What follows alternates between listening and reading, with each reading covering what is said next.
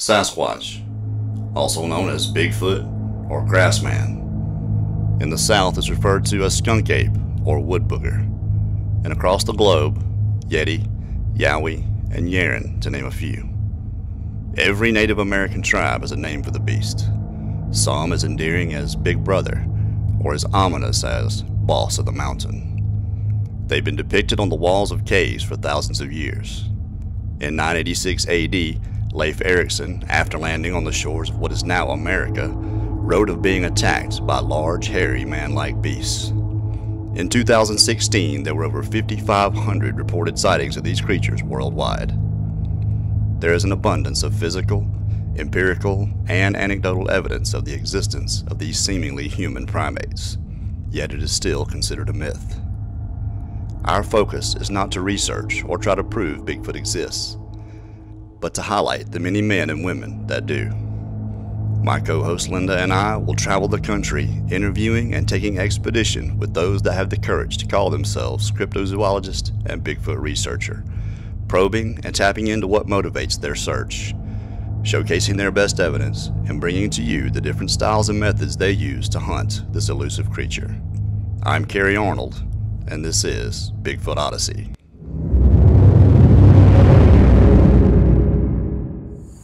On this episode of Bigfoot Odyssey, we're in the scenic foothills of Missouri's Ozark Mountains. We'll be talking to Mr. Dustin Duncan, creator and host of one of my favorite podcasts, Crypto PTSD. We'll hear from Dustin, we'll hear some of his accounts and experiences, and we got him started on his own Bigfoot Odyssey. As a bonus, we'll be on location with a few of his past guests, Jay, a SWAT team member, and TJ, who had something charge him from the woodline. Hope you enjoy the show. Uh, Dustin, take us on uh, your journey from average Joe to having your own Bigfoot podcast. How, how did this all come about? From the let's take it from the beginning. Well, I guess the beginning would be um, my arrogant youth, growing up hunting, shooting, thinking I was the bull of the woods. There was nothing out there that was bigger or badder than me. Um, I loved going out with Bear Essentials, uh, especially squirrel hunting. I'm a real big squirrel hunter, and I use a single shot 410. It's the first gun my dad ever gave me, a little youth model. I, I love just going out in the woods and, you know, even if I didn't get anything, just walking through the woods. And I, I was pretty arrogant when it comes to a lot of things I should have taken into account besides Bigfoot, but I was just a normal guy coming home one night and my life changed forever. It just got flipped upside down. I was, I live in a small town and at, at the time I was living at my mom's house and I was coming home at probably midnight, somewhere around there. And you know, there's a lot of people out there that that go looking for Bigfoot or try to find these things, and that that wasn't me. Bigfoot, you know, I thought about it, but I knew it wasn't here in Missouri. It, it was something that just didn't ever enter my mind because I spent time in the woods. So my sighting was was kind of the beginning, but it really wasn't. Um, you know, I was coming home one night and I I saw something that flipped my world upside down. Let's take a trip to location let Dustin show us exactly what happened.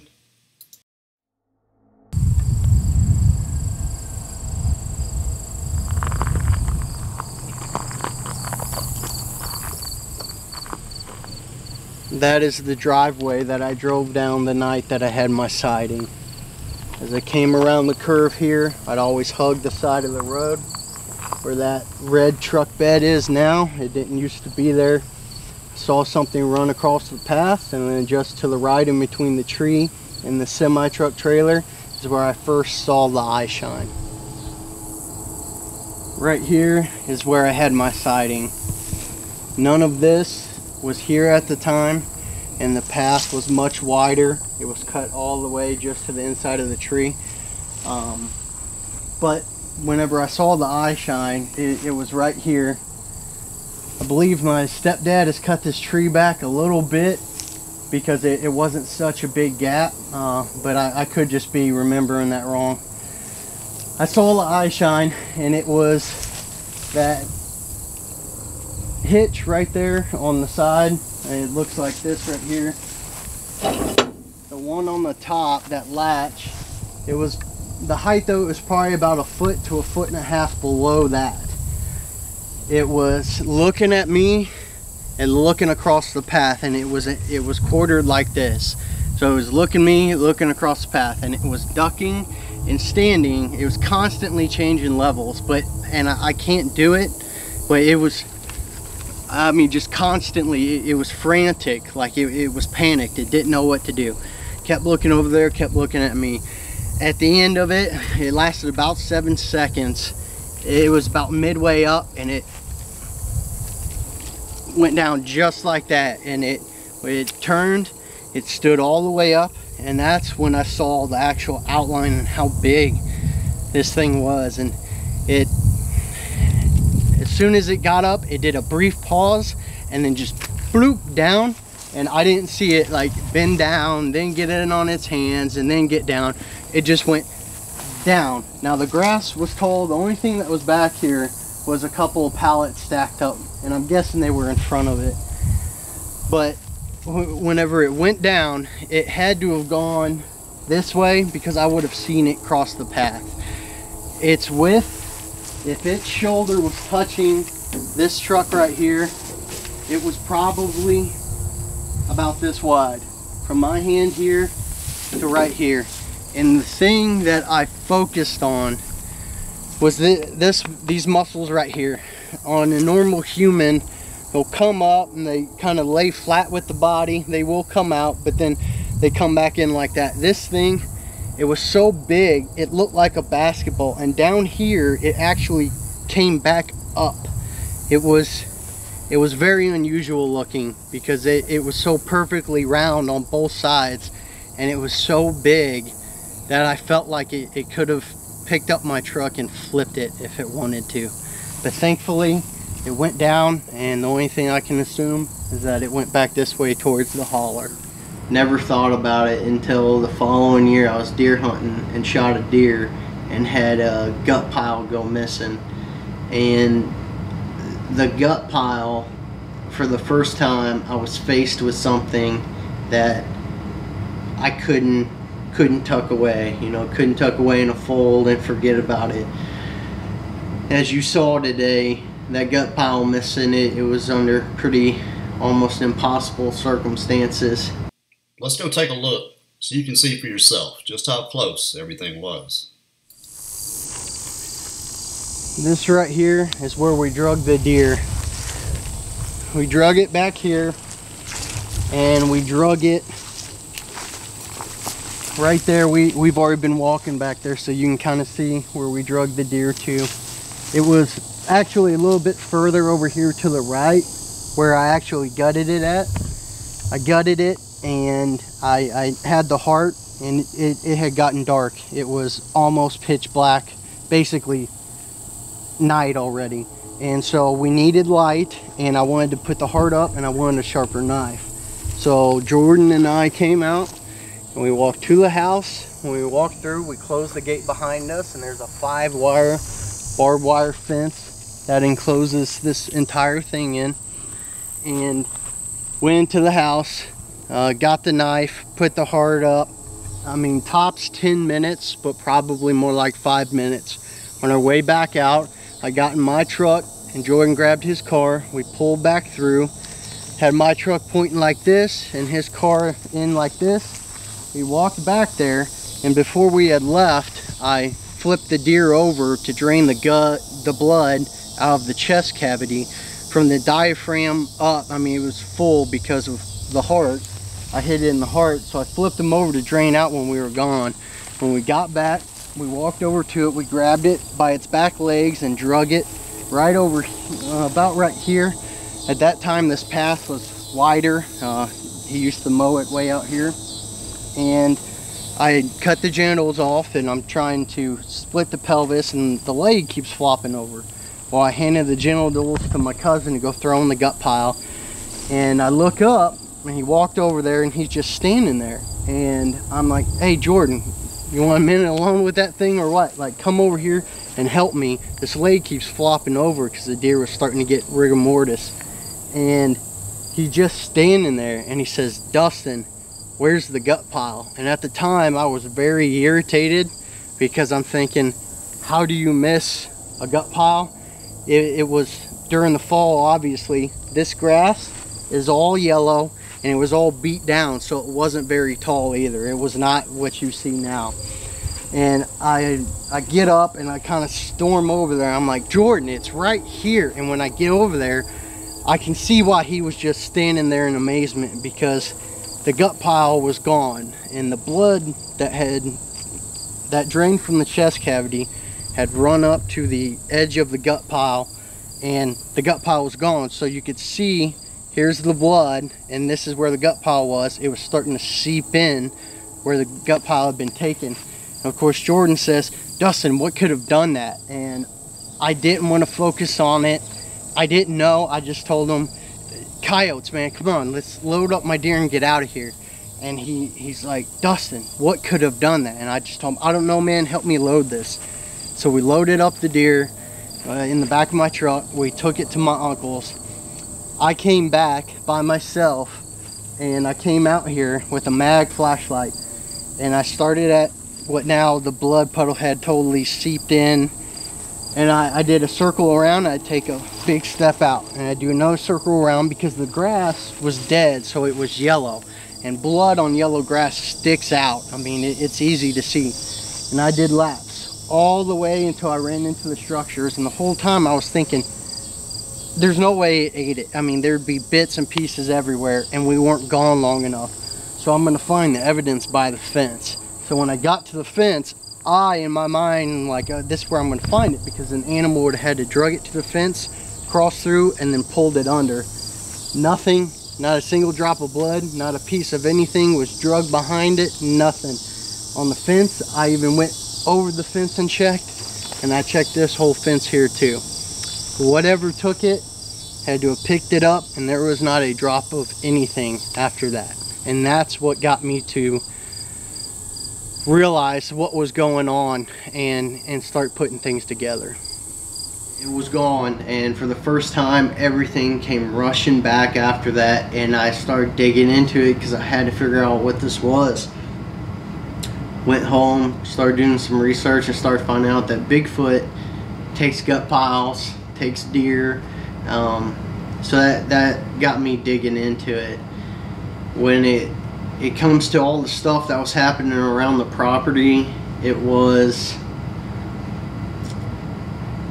it's amazing at how much you can tuck away and explain away until you're you're faced with the truth.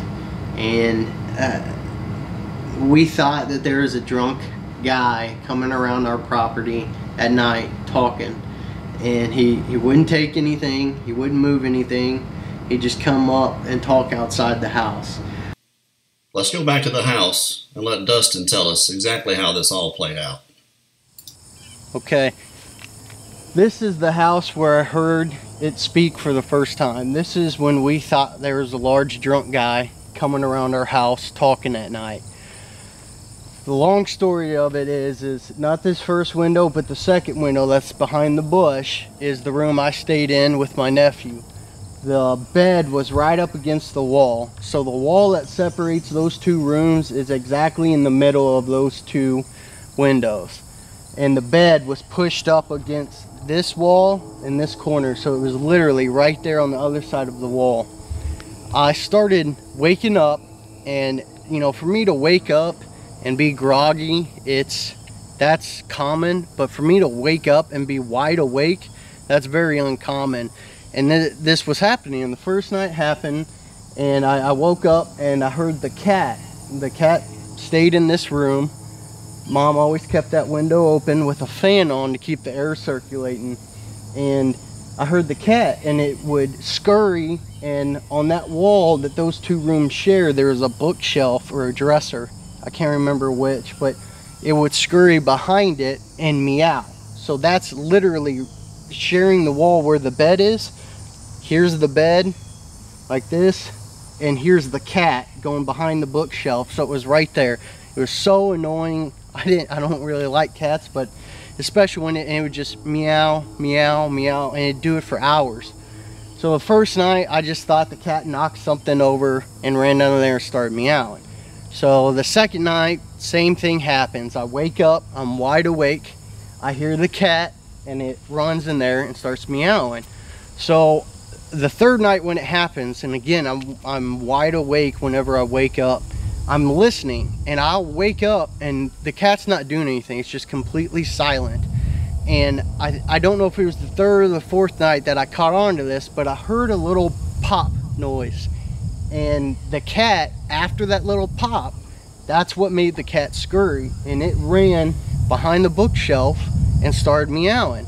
And so the next night, same thing happens. And this is very unusual for me to do this.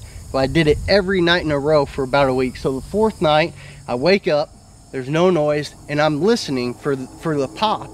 And like when a house creaks at night you hear a pop. It wasn't that because that there's weight on it you know? It's a pop but it's like muffled because of the weight. So i'm listening and i hear the pop and the cat scurries underneath behind the bookshelf and starts meowing again. And i'm thinking in my head what is that pop it sounded like it came from this wall over here well the last night that it happened same turn of events happened. I wake up, nothing's doing anything. I hear the pop, the cat runs under, and this thing speaks outside of the window. And as I'm laying on the bed, if I would have stuck my hand straight up, exactly on the other side of the wall from where my hands are on the height is where it sounded like it came from. And the door is at the other end of the room, and the door was open, and it was so deep that the sound, like, I don't know if it shook the wall or if it was just the sound bouncing off of it, but my first fear, I knew that the noise came from outside, directly on the other side of the wall than me. And it would have had to be standing between the bush and the wall there. And I hear, I hear it speak, but my first fear, again, I knew it was outside, but my first fear was somebody broke in the house and they're in the house.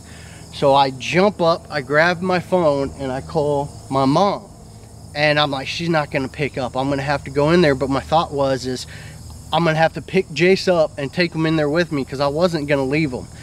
And my mom picks up on the third ring and she says, What's wrong? And I said, Get my stepdad, tell him to get his gun. They're in the house. That, that's all I said. Hung up, and I'm standing by the door, and he, he ends up poking his head out. He's got his pistol. He's in his whitey tidies. And he said, where are they? And I said, I don't know. I think they're in the house. And so I waited. He came out with the pistol. Mom, I'm like, Mom, go in there and get my nephew. And we go out and we we start to run out. And again, my stepdad's in his underwear. And I think I said something like, get the flashlight. I don't remember, but I was the first one out the door and when I ran outside, the first thing I did was swing around here and look. There was absolutely nothing. He came out, he ended up getting dressed. We all got in the car, my mom, my nephew, my stepdad, and we drove because this driveway here, it's if you're coming down it, you're coming to our house. And if you're driving to our house, we can see you because the, the windows are right there. We drove up, first thing we did is we drove around the yard, looked, we drove back there, drove in the back field, then we drove on the road and we took all the roads. There was nobody here, no vehicles here, no cars here. It only said a couple of syllables, but it was exclaiming like it felt like it was like saying, no, don't. Like it was talking. Again, we thought this was a large drunk guy. And I thought what we came up with at the time is somebody was breaking in the car and it said, no, don't. Like the phrase that said, it was exclaiming. It was like, I mean, you could tell it was trying to say something or stop something. I don't know, um, but that's that's the first time that it ever did that. And on the house there, for it to be that high, it's I'll walk over there and I'll, I'll raise my hand to where I think it, it probably was. But it had to have been very tall. You see the concrete footings down below. Then I think it's two by 12s for the floor joists, two by eight, some, something. And then the floor starts and then you've got the bed, you know, the bed's probably about this tall and then my arms up because I remember it was right, because I was staring at the ceiling and the sound came right, right through the wall. Thing and later had a, another occurrence happen. Um, I, I heard something outside the garage speak and it spoke three times and it said the same thing every time and my mom was with me the last time and she heard it it speak. Let's go back to the house and hear Miss Pam's account of that evening's events. Well, Dustin came in from the garage and he seemed all excited about something. I didn't know what was going on. And um, he asked me if I heard some noises. Well, I hadn't heard anything. Well, all of a sudden at the back door, I thought my my stepson was at the door talking, and I thought I couldn't understand what he said, and he speaks in a real low, gruff voice, and I heard what I thought was him speaking, and I thought, well, he's got a key. What's he doing just standing out there? And so I looked over at Dustin and I said, what is he doing here? Is he supposed to be here? And Dustin like looked at me and he's like, I don't know. Um, and then he asked me what I heard, and um, I couldn't make it out what I heard. I just heard uh, it sounded like a man with a real deep voice. Now let's hear Dustin give us a detailed account of the night they heard the voices. So here's where I heard it talk for the second time. This right here is our garage. There's a door here, and then you probably can't see it, but straight through that window is the door to our kitchen. I was warming up noodles, and I was talking to my dad on the phone, and whenever I, I walk, and I, whenever I'm talking on the cell phone, I tend to pace, and so we have an island in the kitchen, and I, I was walking around the island in front of the door. Now, this is all speculation of what I think it was doing, but this section right here at nighttime is completely pitch black. There's a light right here and a light right there and the light comes straight out. But this in here is just completely black. So I'm walking around and when I walk in front of the door, I hear a man speak. And in my mind, it, it wasn't alarming. I wasn't scared. I thought it was my stepdad who had just got home and I didn't hear him shut the door for some reason. I thought he was talking on his cell phone right there. So I did one more lap around. On my next lap, I stepped in the doorway and I went to poke my head out, expecting to see him. And as soon as my head went through the door jamb, it spoke again. And whatever it was was standing right here. And when it did, it's like I could feel it. And I jerked. I put my hands up like this and I dropped to the ground. Like, you know, when somebody scares you and you jump and I dropped all the way down and I, I was on the phone with my dad and I said dad I gotta call you back I backed up and I grabbed the door and I slammed it shut so he couldn't see in there anymore I went back inside and my mom was putting my nephew in the bathtub and I'm like mom go get you know go get your gun. And I, I had my gun in there and I grabbed it. I'm like put my nephew in the other bathtub. Like don't put him in there. And she's she was blowing it off. She was like oh dustin you're just freaking out. Come on. She goes and puts my nephew in there. So i go and get the other gun. And i'm like mom take this. And she's like no i'm not i'm not taking that. I'm not taking that i'm like fine so i had both the pistols and we came in the kitchen she's like what was it so we're standing in front of the the refrigerator and I'm like, here, come over here. And we stood on the side of the refrigerator. That way it was blocking the view from that door, even though it was closed. I didn't want to be by it. So we stood on this side. Well, on this side of the refrigerator, our back door to the patio here has a big window and you can see straight in through. So I'm telling her, I'm explaining to her what happened and it said the same thing the first two times, but we're explaining it and whatever it was moved from here to the back door and it said the same thing it said the first two times. And my mom that obviously caught her attention. She's like who is that? Who's out there? Who's out there? She's like is it you know my stepdad? I'm like mom it call him because he's about to get shot So she calls him, and he's in town at the store. And this is at nighttime. It's between six and nine o'clock at night. He's at the store. He drops everything and rushes out here. Of course, drives around, drives around the field. Nothing was there, but it said the same thing all three times. And the last time it said it, it was the slowest, and it said two syllables. And I even asked my mom. As soon as she heard it, I said, "Mom, what did you hear?" She said, "Oh, I I heard a man speak." I said, "No, what did he say?" And she's like, "Well, I don't know." I'm like, "How many syllables was it?" And she's like, two. I'm like, "What did they start with? What was the letter?" And she said, "D." And I was just confirming what I had heard. Again, it said the same thing two times here and then one time back there. And what it said was drob drew or drob droop. I, I don't know which one, but it said the same thing all three times. And of course, my mom was there to hear that one. So it spoke first twice at the garage window, and then the third time it spoke, and again it said the same thing every time. This is where it, it came to. We were standing on the far side of the refrigerator, and you can uh, literally you, you can see straight in there, especially at night with the lights on. I mean, even standing out here, you'd be able to see us. But we were both standing there, and when it spoke, the first thing we both did is we moved to the other side of the refrigerator because we knew it could see us because it, it was standing right here whenever it said it the last time.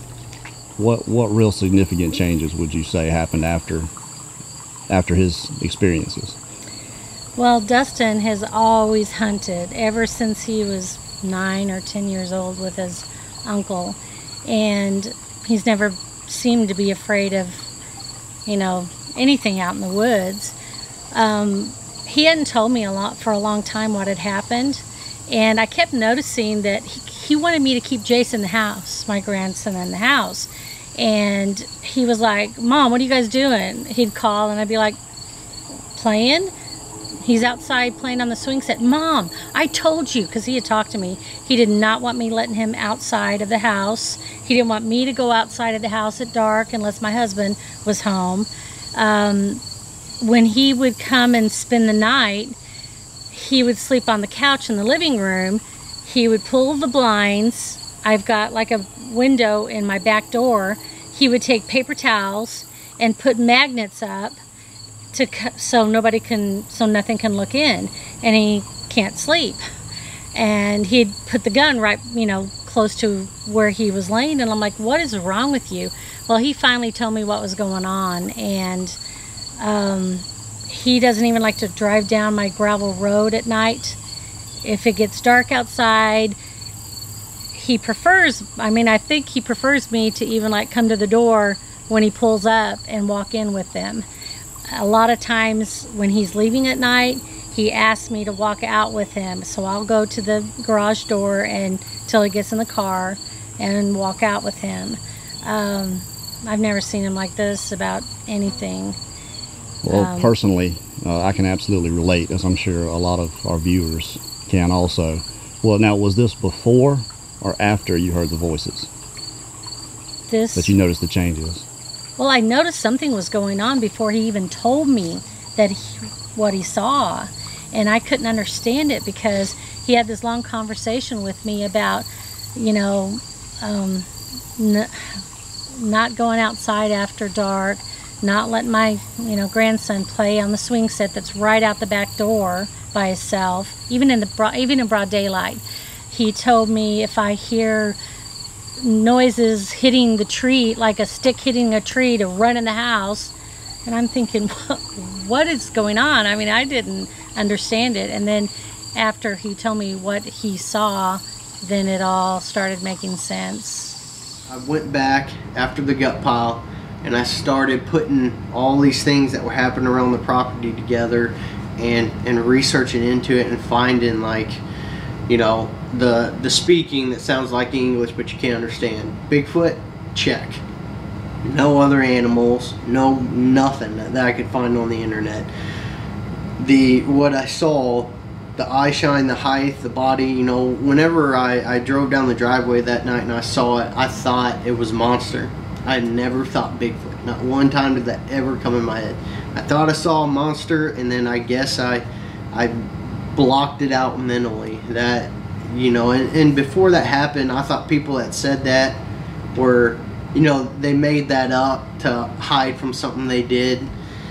I, I don't know if that's what it was, but that that's what I did in, until the gut pile. And then I, I decided to tell my family about it.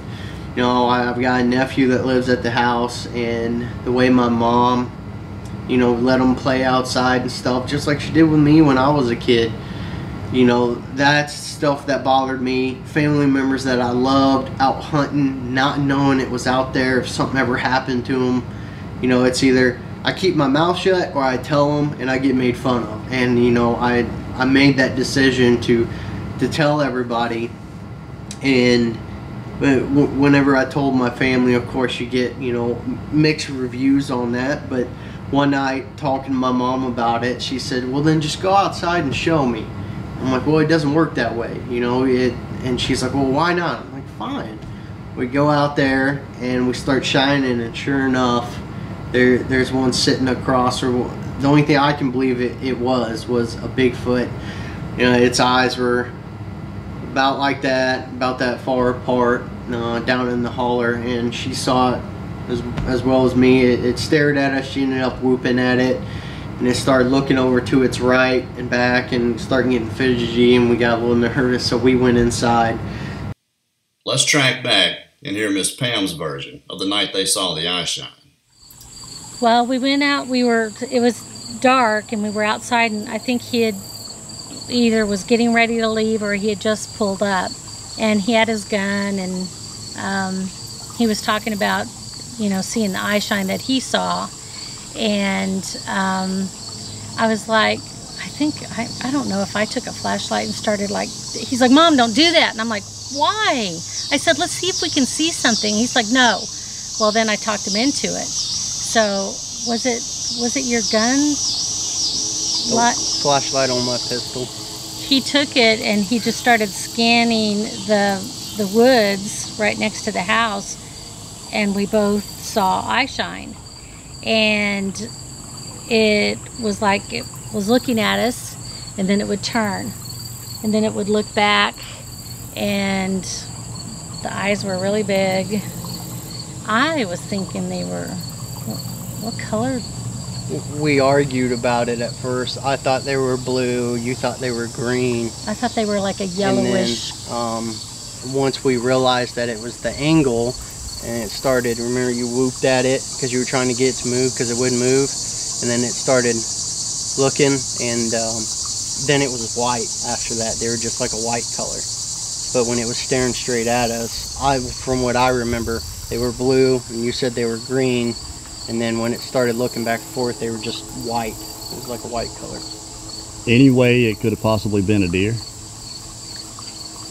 no because i don't think a deer would have been like what you know it was far enough out in the woods that it wouldn't have been like watching us because it seemed like it was watching us right. and it stayed there for a long time and Dustin then told me, Mom, don't ever make whooping noises outside. so I don't do that either. But it's changed me too in that every time I come down that gravel road, I look over by the tractor trailer and I'm looking for eye shine or something to move. I even flip my high beams on.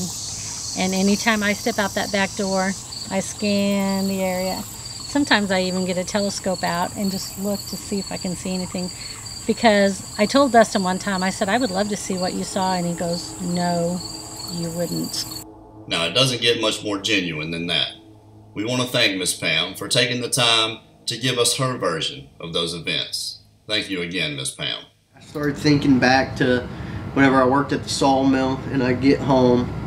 You know, I'd be dirty, I'd sit on the back porch, and there would be this feeling that would come over me. You know, it, it, would get dark. I'd be playing on my phone or watching Netflix, YouTube on my phone, and I, I get this feeling that something was wrong and something was watching me. Let's take a quick look at how Dustin recounts having those feelings after coming in from work. So this is where I'd come sit after I got done working at the sawmill when I was dirty, didn't feel like taking a shower yet, so I would come back here just to kind of relax and I would watch YouTube on my phone, watch Netflix on my phone, play games on my phone, whatever. And a lot of times it would it would get dark back here and I would take the chair and I would face it this and I'd put it up and I'd be sitting there and I'd just get a feeling all of a sudden real intense that something's watching me.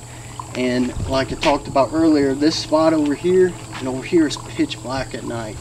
And so I would get up with my cell phone light and I would come over here and I would shine it and I would peek around that corner and I'd peek around that corner and sometimes Shelby would be sitting down there and the pool wasn't there then she'd be sitting there and this dog would bark at everything but she would look up at me and her ears would come up and then she'd look over there to the left of the garage and her ears would lay down and she'd lower her head. And she'd look back up at me her ears would come up and she'd lower her head and lay her ears back and look. It like she was going to growl except she would never growl. She'd always be silent. And i just have that creepy feeling and that happened a lot and that was before i started putting things together of what was going on out here so of course i was oblivious to the fact of what could be i just would get a creepy feeling enough to get up and I know sometimes that it seemed like the dog was was looking at something too. There are so many things that happen around here that just get overlooked because we had no idea what was actually going on. And so after that, you know, of course, everywhere I go, I'm watching the wood line. Uh, I'm, I'm looking, and I, I have a job that I, I, work seasonal and I, I, won't go into it but in the full time I when I get back I I run a mowing crew for a, a mowing company and we mow in really rural areas Dustin took us to the cemetery to check out some of these tree structures you can see this one is uh, bent down and the forks wrapped around this other large oak tree uh, this one uh, looked like it was just obviously placed there. There's no stump first, and you can see these other limbs that are they're broken off on either end or twisted off, and they're just kind of leaned up against it. Um, this doesn't look very natural. You can see that's obviously twisted off wherever it came from. Uh, this one is there's no stump that's stuck down in the ground and it, it probably doesn't look very heavy, but I'm pretty positive a man couldn't have leaned that up and then wove it up into that other tree. And you know, once your eyes get open to it and you see it, you you can't unsee it. You know, it's like before you can't see what you're not looking for. That's why you know most people don't see anything. But once your eyes get open to it, you just you can't turn a blind eye to it. And so you know, mowing at, at a cemetery and a shooting range. I found these structures and they're right there. You know, people come to these places all the time, especially that shooting range, and they're just inside the wood line.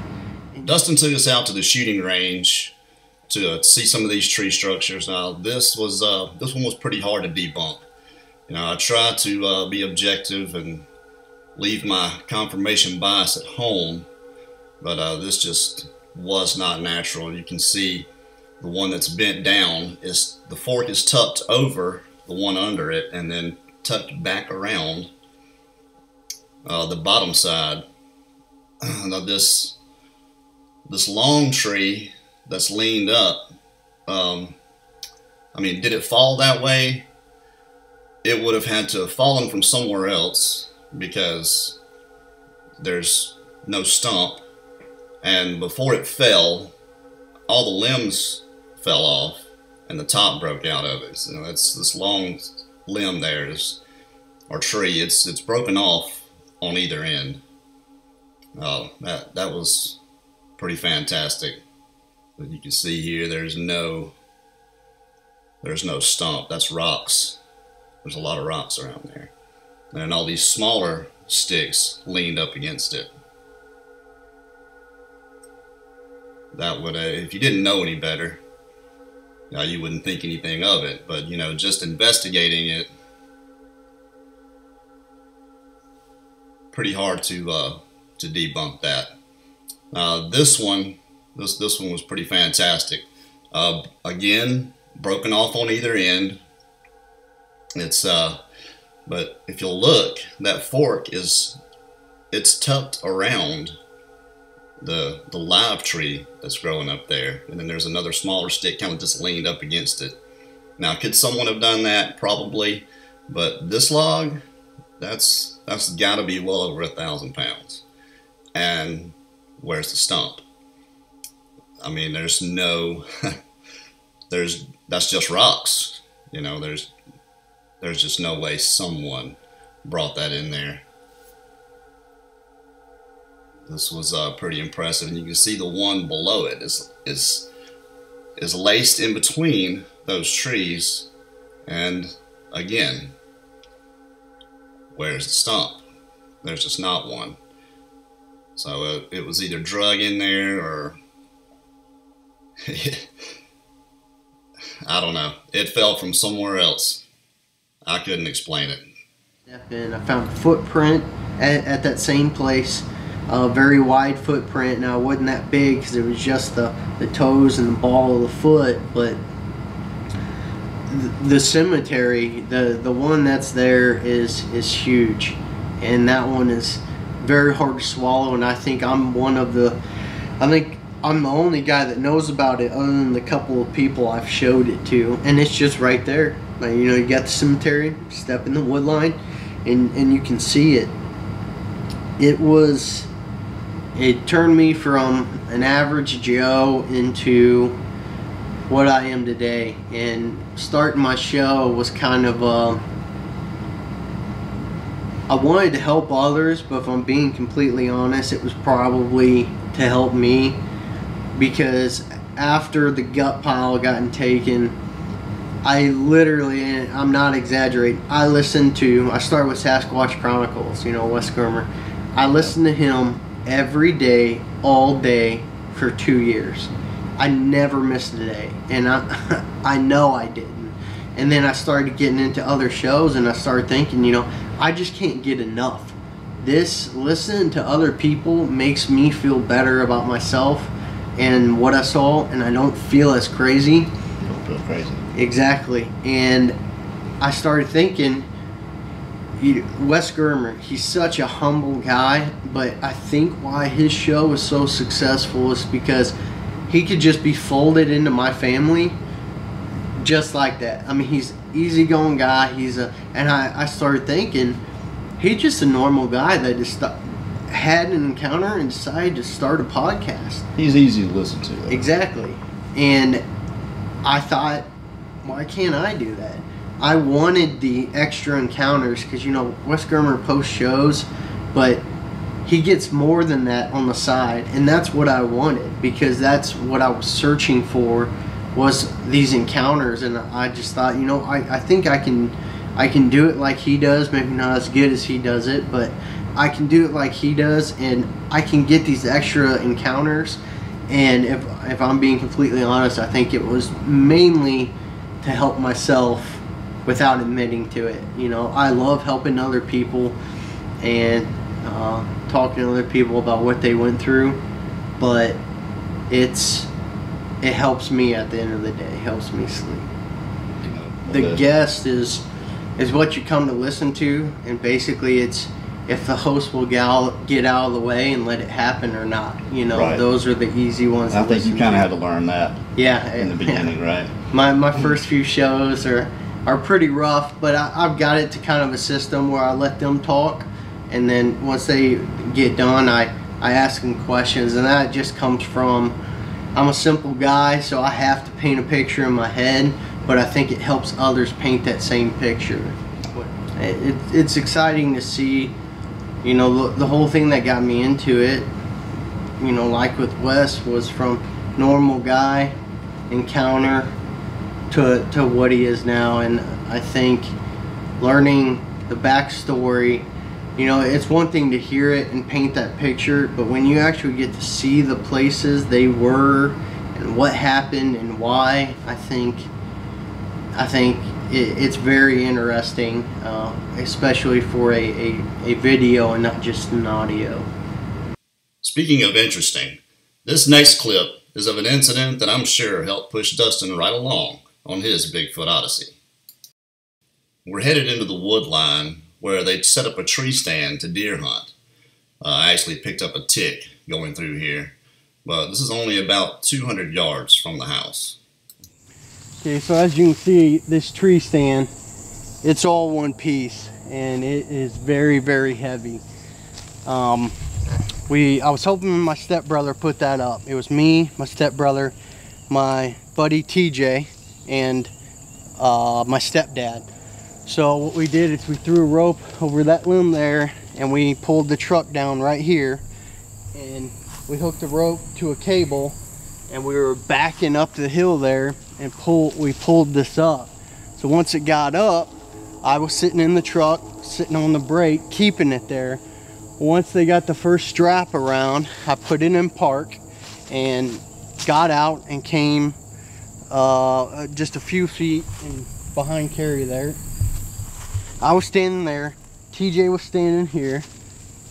My stepbrother was up in there and then we had a ladder right here going up and my stepfather was up there helping them strap it and as I'm standing there I, I hear from almost directly behind me something stomping on two legs and it was walking this way breaking sticks it sounded like whatever it was it was not trying to be quiet I'm standing next to an injected 350 that's idling. And so in my mind, of course, I'm like, I'm just hearing stuff. This is, I'm just making it up.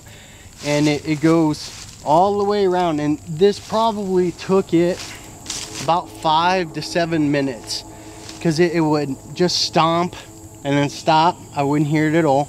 And I'd hear it again. And it circled all the way around and there's a pond right there and I was hearing sticks break so I know it didn't go around the pond and that's probably only about 25 30 yards away from us it may look farther but it's not mm -hmm. and it went all the way around and down in the bottom down here there's less trees it's a little little valley down there whatever you want to call it and it kind of stopping and going but it's just stomping and breaking stuff as it's walking and as it gets farther around, I step down closer away from the truck so I can hear better. And the whole time I'm I'm not telling them because I, I'm the crazy Bigfoot guy. So I'm listening as it's as it's coming around, coming around, and it finally gets to where it's it's right there behind that tree, except it's I, I don't know 20 yards behind it. And it stops and it starts coming straight in at us and it's going and stopping and it, stopped longer than it was moving and then and it was coming in so I asked TJ I'm like dude give me that flashlight. It was just a little keychain flashlight. It wasn't very good. And I was shining it at that tree which you really couldn't even see it. I mean you could kind of see the bark on the tree.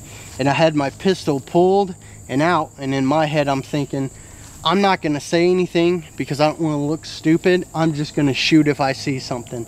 Because at that time I mean this thing was coming in on us. And I, I was scared so it comes all the way in to where it's right behind that tree and it it hasn't made any more noises and it kept shuffling its way in and I'm waiting for it to poke its head out I've, I even took slack off the trigger well TJ notices that I'm serious about seeing something.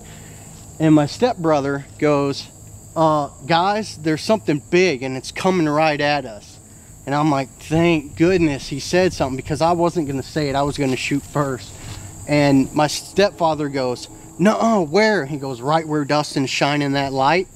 And my stepfather gets in the truck and he had a spotlight in the truck. So he's shining down there and I'm telling my stepbrother, dude, you better hurry up because we're leaving. It's right there. I've heard it the whole time. And, you know, they're asking, where, where was it? Where did it come from? I'm like, it came all the way around and it came in there. Get, come on, let's go, get in the truck. And we load up and left. We never saw anything. He's hunted in it afterwards. But the steps I heard going around were 100% bipedal and it was just snapping stuff on along the way. It did not care. And then when it got there, it never poked its head out that I saw. Um, I'm just happy he said something because it was so obvious when it started shuffling and coming in, stopping and going, stopping and going. And it, it was literally in a straight line from where I was coming in.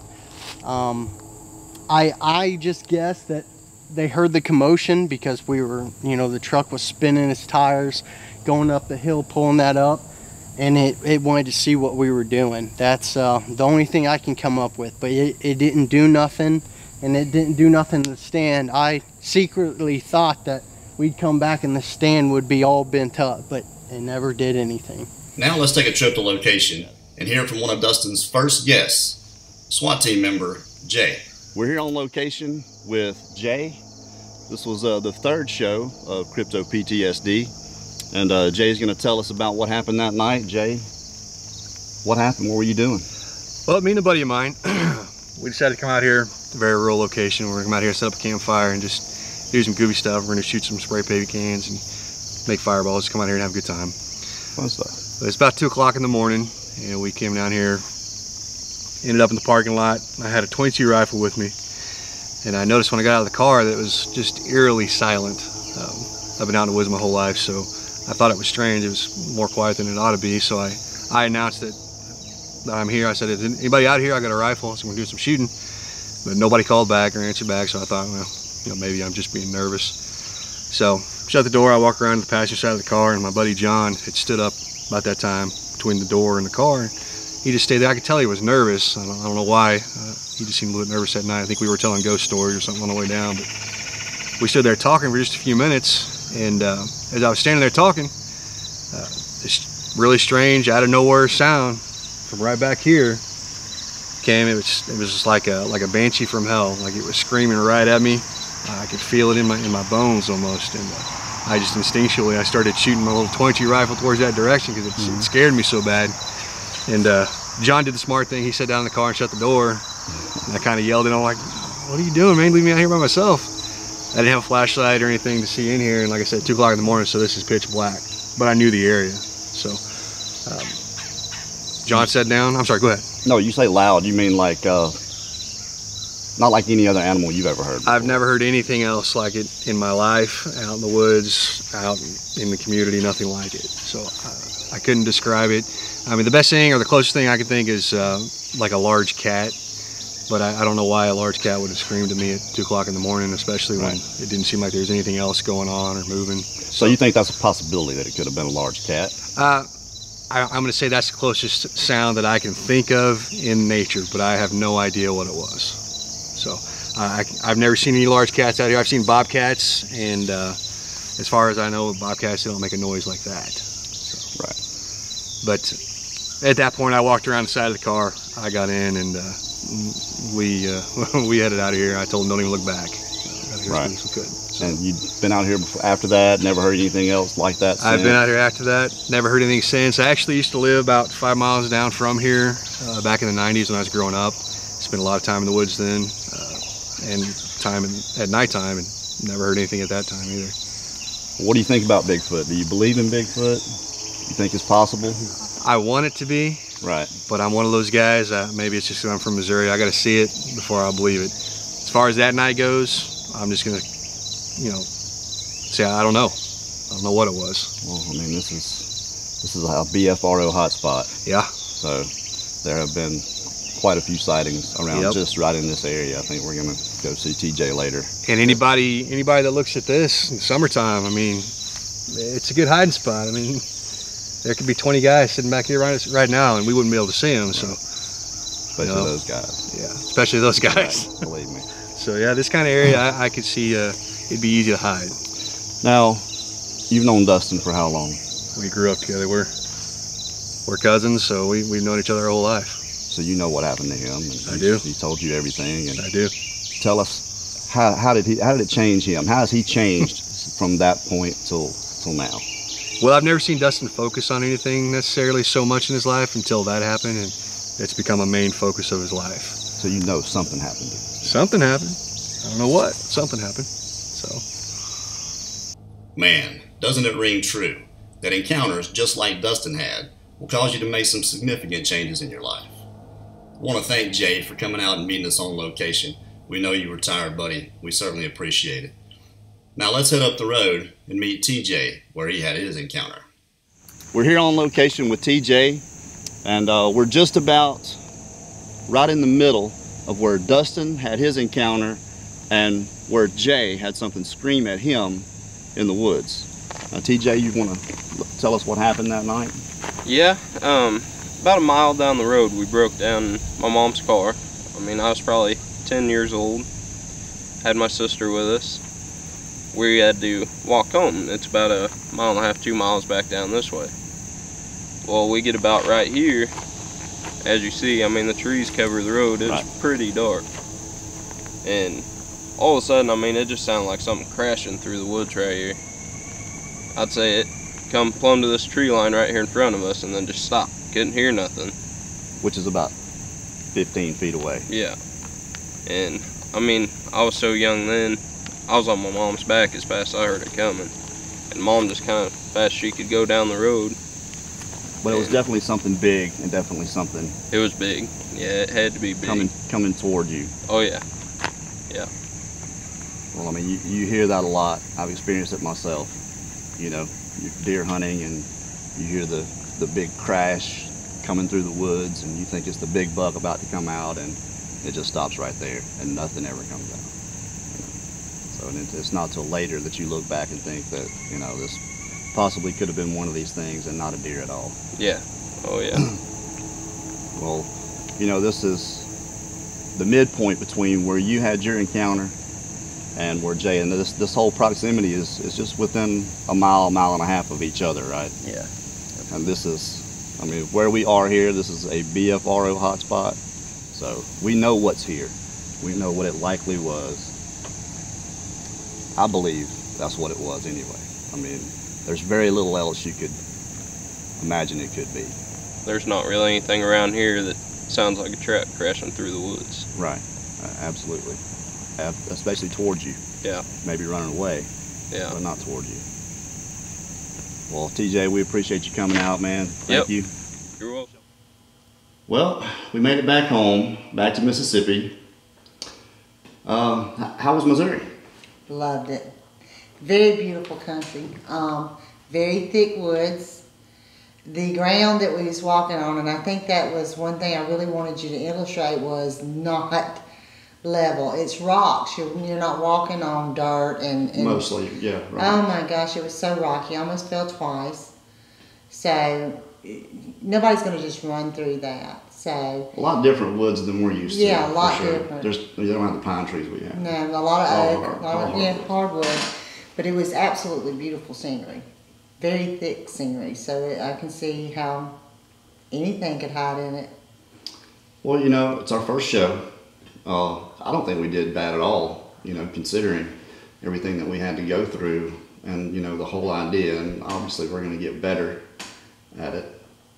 But uh, Dustin, Dun- Dustin Duncan and uh, Crypto PTSD, how about that, huh? Hmm. Loved meeting Dustin. Loved meeting his mom. Pam. Yeah, Miss Pam was, um, and I think that was my big thing about the whole trip is is I'm a mother.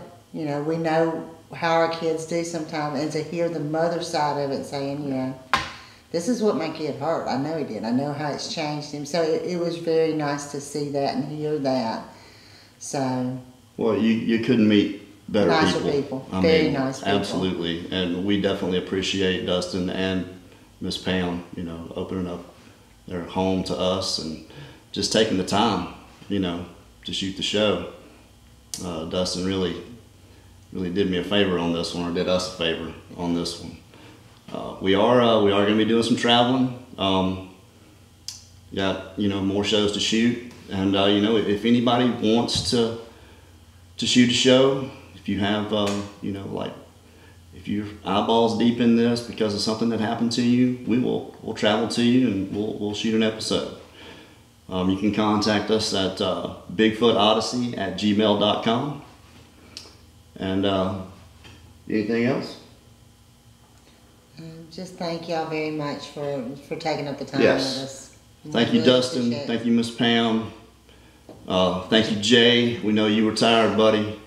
And uh, And thanks TJ. You know we appreciate everybody that uh, that pitched in and and was a trooper for us. We thank you all. Yeah, maybe next time Missouri can be a trip for us because I'd like to see a lot more things. So. But uh, join us on the uh, next Bigfoot Odyssey, and thank you.